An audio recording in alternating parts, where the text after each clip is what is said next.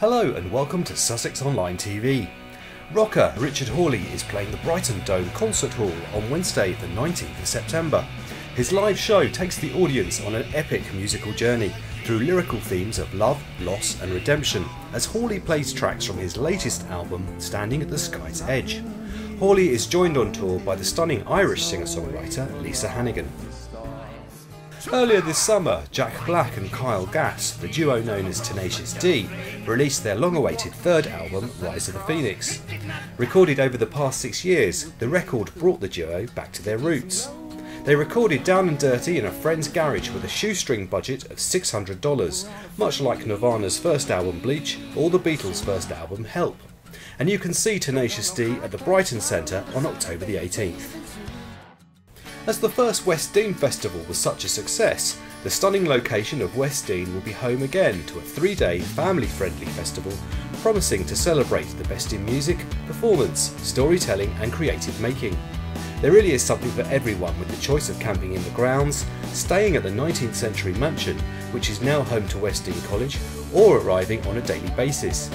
It's truly amazing what you can see, hear, and do at this festival, and it takes place on Friday the 24th of August to Monday the 27th. The shortlist for the Sussex Food and Drink Awards 2012-13 will be announced on Thursday the 7th of June. Public voting will open on the same day and again you can have your say as to who goes forward in the final in January 2013. To vote and for further details please visit sussexfoodawards.biz. The incomparable Jim Davidson, live, dangerous, and as uncompromising as ever, in a hysterical evening of near the knuckle stand up comedy. The date is part of a limited tour, so don't miss your chance to see the legendary comedian live on stage. It's a night not to be missed, and it takes place at the Pavilion Theatre Worthing on Thursday, the 23rd of August. And our film this week is The Three Stooges.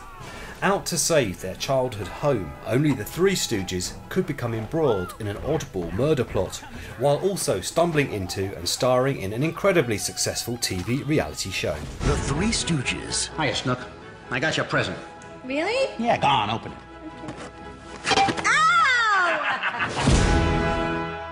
Mercedes Benz has won the Auto Bild Design Award, voted for by over 100,000 readers. And Germany's most attractive car is the new Mercedes Benz A Class. The leading car magazines say the exterior of the new A Class displays a particularly distinctive sporty character, which is complemented to perfection by an innovative interior exuding a particularly high quality feel. Realising the new dynamic style of Mercedes-Benz in the compact class was a thrilling challenge, say Mercedes-Benz. No other car in the segment is as progressive as the A-Class.